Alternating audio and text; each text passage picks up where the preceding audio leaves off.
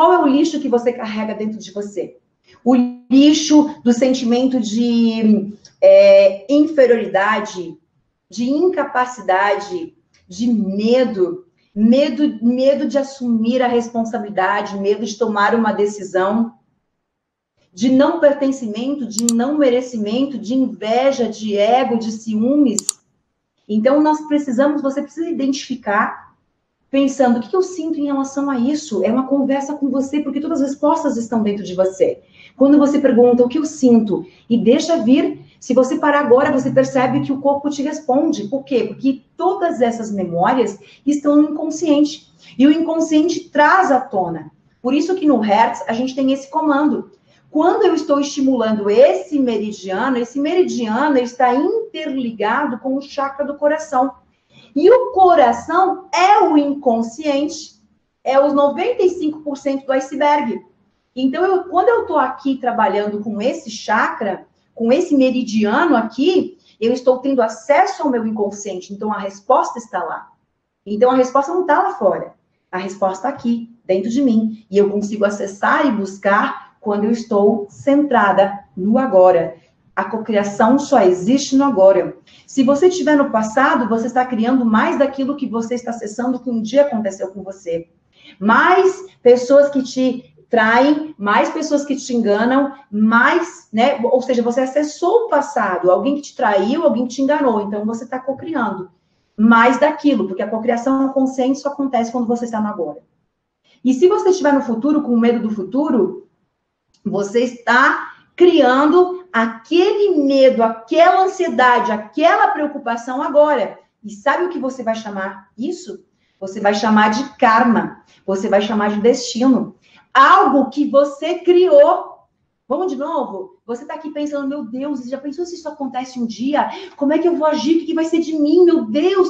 E se um dia me assaltarem? E se um dia me traírem? Acabou meu casamento, acabou comigo. Você está lá com medo.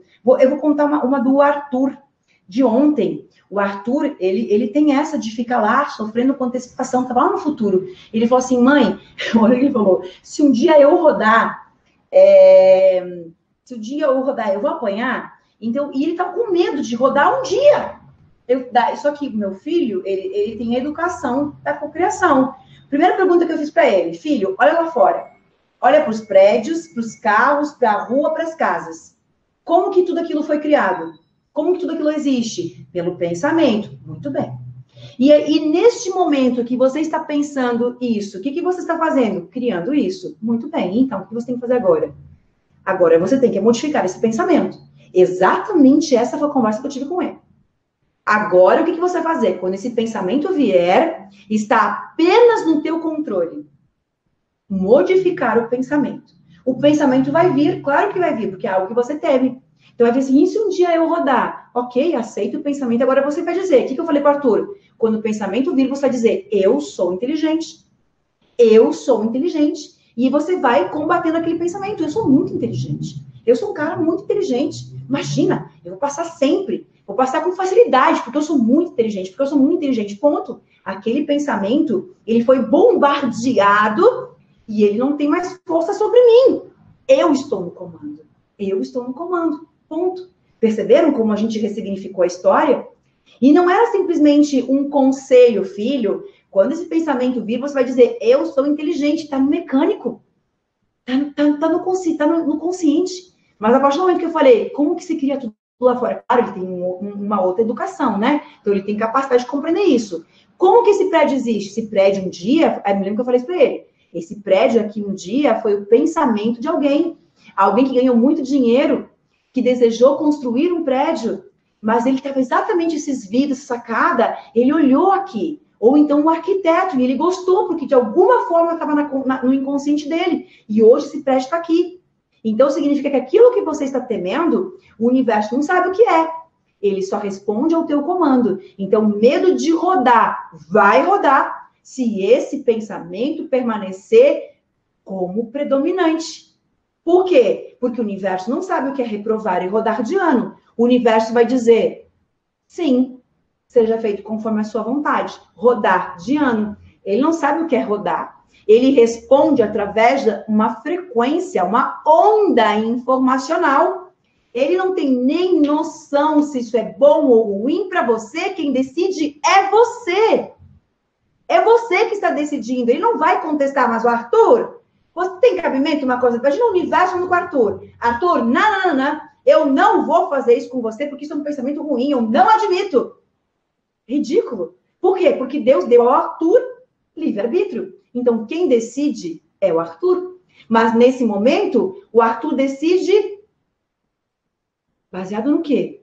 Na inconsciência ignorante de quem não sabe o que está desejando. Quantas vezes você fez isso? Mas o universo te deu. Tudo aquilo que está na tua vida, você cocriou. Através do medo, através do julgamento, através do desejo intenso daquilo, através da gratidão, através da reclamação, do ódio, da raiva, não interessa. O processo é o mesmo. O processo de criação é o mesmo para o bem ou para o mal. Hoje eu lembro que alguém me fez uma pergunta assim, Elaine, eu já respondi tantas vezes, mas vamos lá. É, Elaine, é, Deus disse que tudo que pediu diz em nome do Pai, eis não sei o que, receberá. Acho que vocês conhecem a frase melhor do que eu. E aí, então, aí a pessoa fala assim, ó, então, é, é permitido criar o mal? Claro. Óbvio.